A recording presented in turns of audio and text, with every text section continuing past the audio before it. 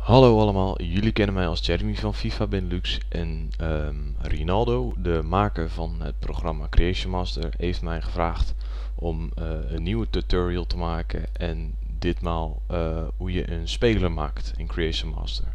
Dus dat ga ik nu uh, laten zien.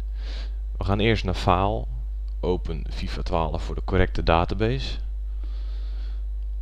Dan gaan we naar Player en aangezien we een nieuwe speler willen aanmaken, klikken we op Create. Nou, we hoeven niet een specific ID te kiezen, kan je doen, maar het beste is gewoon automatic. Oké. Nou, dit is op zich, uh, spreekt dat voor zich. First name, gewoon je voornaam. Ik pak gewoon even mijn eigen naam. Achternaam ook. Achternaam. En ik kom uit Nederland. Nou, leuk. Dit vul je maar in zoals je zelf wilt.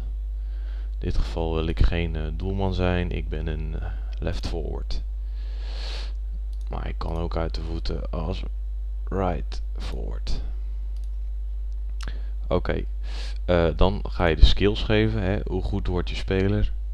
Je kan het zelf helemaal naar wens invullen. Maar om het even snel en makkelijk te doen, kies ik gewoon voor dit zodat hij dat zelf doet. Hij zal me deze melding geven. Dan klik je gewoon yes of je zegt dit. En je ziet dat alles gewoon ingevuld wordt. Je kan hem eventueel nog wat trades meegeven. Hè. Diver, nou dat is meer voor een keeper. Of uh, een teamplayer.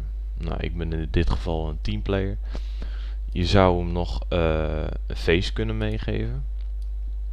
Eigen face die je gedownload hebt, maar in dit geval kan je ook zelf iets maken. Randomize. Uh, je zou hem ook nog een miniface, dacht ik, kunnen meegeven. En dat kan je door een image te importeren. En de afmeting daarvan moet 128 bij 128 zijn. Even kijken of ik die heb. Die had ik nog. Uh, die had ik nog. Deze. Ja, toevallig een Battlefield plaatje. Maar dat maakt niet uit. Um, dan gaan we nog uh, aan het team toevoegen. En dat gaan we doen door naar team te gaan. In dit geval wil ik hem bij Arsenal hebben. En dan gaan we naar roster. En dan bij de filter ga je kijken bij free agent. En dan zie je dat ik daar tussen sta. Klik je erop. En dan zeg je transfer. Dan sta ik daarbij. Ik had het al een keer getest, dus ik sta er dubbel in. Die kan wel weg in principe. Zo. Maar deze, die heb ik net aangemaakt. Nou, het enige wat je dan hoeft te doen. Save. En dan heb je dus een speler aangemaakt en hem in een team gezet.